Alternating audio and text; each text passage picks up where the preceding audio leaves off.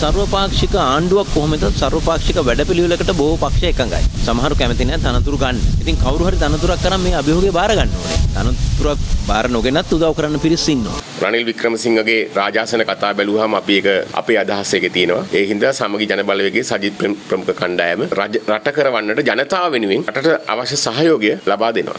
සියලුම පක්ෂ සහභාගී කරගෙන සර්වපාක්ෂික රජයක් හදන්න ඕන කියන එකේදී කාරක සභා අනිකුත් පක්ෂවල ලබා දීම මේ රටේ ජනතාවගේ සුබ සාධන නිසා ශක්තිය ආර්ථික ශක්තිය වර්ධනය කිරීම සඳහා සියලුම පාර්ශ්ව එකතු වෙලා කටයුතු කිරීම කියන එකට මේක හොඳ පූර්වාදර්ශයක්. ඉදිරියේදී ඇතිවෙන තත්ත්වයන්ගේ වගකීම එක කණ්ඩායමකට පවරලා හරියන්නේ නැහැ. මේ වෙලාවේ කවුරු හරි සර්වපාක්ෂික ආණ්ඩුවෙන් මග අරිනවා නම් ඒගොල්ල තමයි මේ රට ඉස්සරහට ගෙනියනවට මේ රටේ ජනතාව මේ පීඩනයෙන් මුදව ගන්නට විරුද්ධ කණ්ඩායම් බවට පත් වෙනවා. අවිනිශ්චිත භාවය නැති කරන්න සියලු දෙනාටම එකතු වෙලා රට පාලනය කරන්න පුළුවන් නම් ඉතාම හොඳයි. නමුත් අවාසනාවකට වර්තමාන ජනාධිපතිතුමාගේ පාලන වැඩපිළිවෙල තුල එතුමා පොහොට්ටු දේශපාලනයේ බැසිල් රාජපක්ෂගේ හිරකාරයෙක් වෙලා තියෙනවා. දැන් ඒ පක්ෂම අය ඒ බව කියනවා. මට පේන්නේ නැහැ පාර්ලිමේන්තුව තුල වෙන දේශපාලන පක්ෂයක නායකයෙක්.